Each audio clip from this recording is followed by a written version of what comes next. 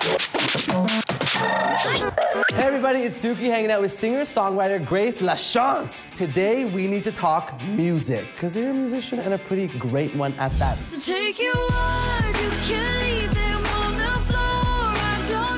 So how did this all begin? I can't really remember when I started because I was so young. Basically, a baby walking around with like a sippy cup but singing at the same time.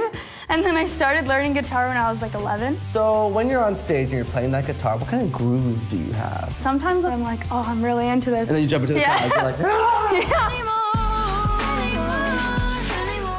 If you had a signature move that we're gonna call the Grace, what would that look like? Whenever I'm about to hit like a super high note, I always go like that with my hands. That's it. So people know when it's coming. That's They're like, it. oh, it's coming right now. That is the Grace. yeah.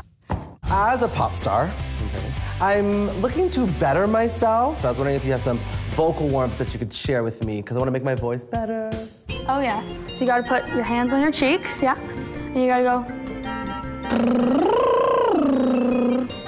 Like this.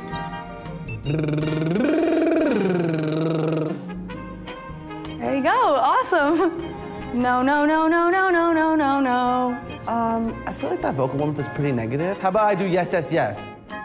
Yes, yes, yes, yes, yes, yes, yes, yes, yes. You gotta step up your game a little bit. Okay, well, speaking of stepping up your game, Grace, uh, I have some vocal warmths that I do before I perform the Pineapple song, and I thought that maybe I can, you know, show you. You can use it if you want, show your friends, show your famous Yes, of course. So here's the first one.